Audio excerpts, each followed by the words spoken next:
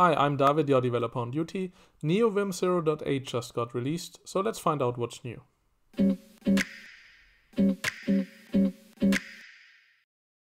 If you're like me and want a clean UI without any clutter, NeoVim 0.8 got you covered. You can now set command height to 0 to hide the command line. No more wasted precious pixels. So how does this work? You can execute some Lua commands, vim o ls equals to 0 for the last status. So now it's gone, but there's still this command line at the bottom. And now you can get rid of it by setting vim o ch equals to 0. And now it's gone. And you can concentrate on your source code.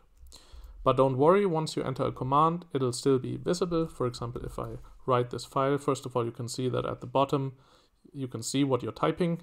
And when you execute something which has an output, you can also see the output until you move along.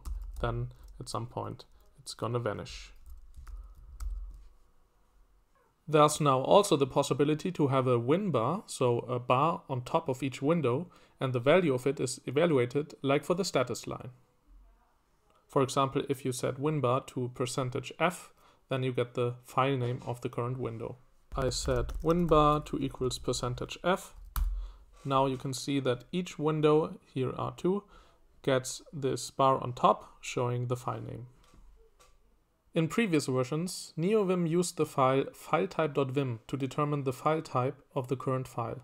There are thousands of lines of auto commands to do this, hence it's one of the slowest startup files. Now in NeoVim 0.8 a new mechanism is used, filetype.lua, which first of all uses Lua instead of VimScript, and only registers very few autocommands to determine the correct file type.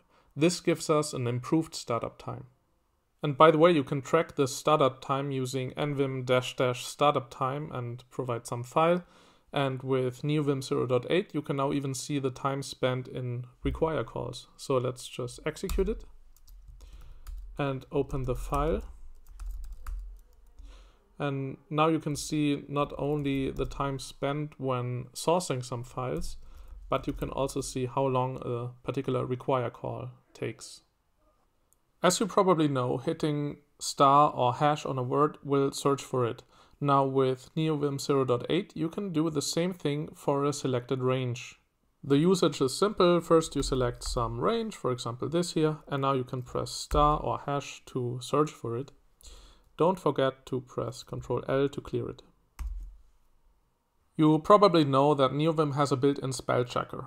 With set spell, you immediately know when you misspelled something. However, in previous versions, it was applied to all text, also your full source code, which you probably don't want. You want to restrict it to comments.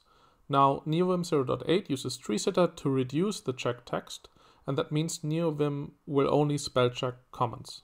So how does it work? You set spell and now it will only check the comments. So for example here, sin menu is highlighted as wrong, which is fine, but the source code is not checked.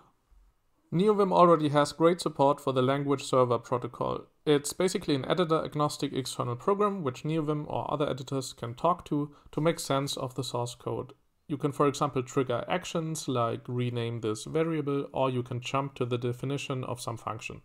Now, NeoVim also supports LSP-based code formatting by using vim lsp buf format. It works like this. Let's say you have this JavaScript file and you want to format it. You can run lua vim lsp buf format. And now your source code is formatted based on the language server in the background. NeoVim has the commands map, command, and autocommand, which gives you some information about key maps and commands. In previous versions, Lua functions were represented in a cryptic way and showed something like bracket Lua function 70 bracket. Now it shows the correct location, making it a bit more useful. So let's try it out. I run map and you can see, for example, for space dd, I have now the location of my Lua function. But that's by far not all of it. NeoVim comes with a ton of features, fixes, and improvements. Just look at this extensive list. Kudos to the developers who did some amazing work. Now, what's your favorite feature of NeoVim 0.8? Please let me know and post it in the comments. I hope you enjoyed this video. Thanks for watching and stay tuned.